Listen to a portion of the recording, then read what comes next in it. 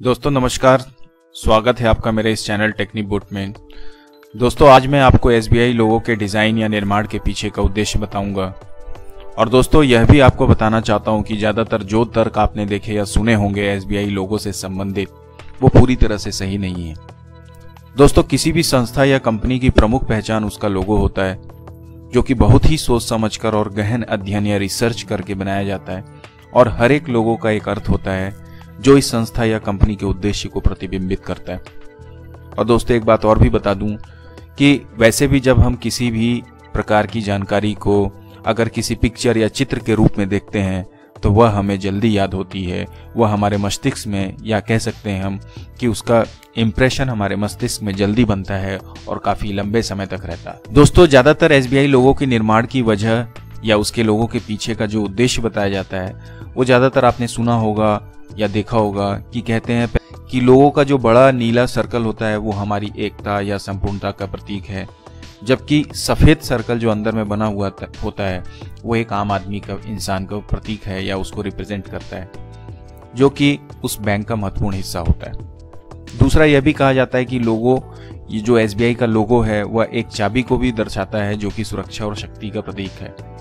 और साथ ही साथ यह भी कहा जाता है कि ज़्यादातर लोगों का मानना है कि इस एसबीआई लोगों को अहमदाबाद में स्थित एक कांकरिया झील से प्रेरित होकर बनाया गया है। लेकिन दोस्तों, मैं आपको यह बता दूँ कि यह सारी बातें पूर्णतः सही नहीं है, क्योंकि यह सभी कारण हमारी अपनी स्वयं की धारणा हो सकती। पर मैं आपको यह बता दूँ अब कि एस लोगों के डिज़ाइन का असली मतलब क्या है। दोस्तों, मौजूदा एस लोगों का डिज़ाइन श्री शेखर कामत ने national institute of design Ahmedabad में सन 1970 में डिज़ाइन किया था।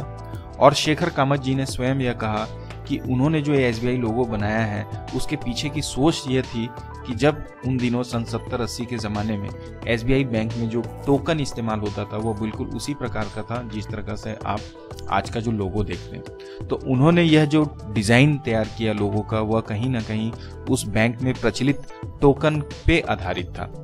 यह जो टोकन होता था, यह गोल होता था और इसके बीच में गोल छिद्र भी होता था बिल्कुल एस लोगों की तरह।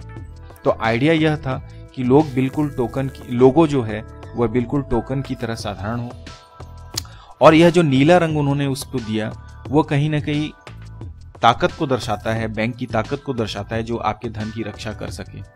साथ ही यह लोगों के सर्कल की साधारणता का तात्पर्य यह भी है कि दूरस्थ गाँवों में बहुत दूर स्थित कहीं केवल किसी बैंक में केवल एक मैनेजर ही हो तो वह भी इस लोगों को आसानी से कहीं पे भी किसी भी पेंटर की मदद से निर्माण या उसको निर्मित करा सके।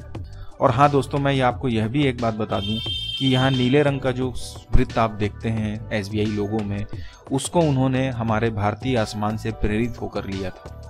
तो दोस्तों, ये थी कुछ बातें जो मैंने आपको बताई SBI लोगों के पीछे बनाने का उद्देश्य क्या था। उम्मीद करता हूँ ये आपको वीडियो पसंद आया होगा।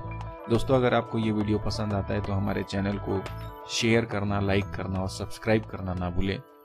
Thank you.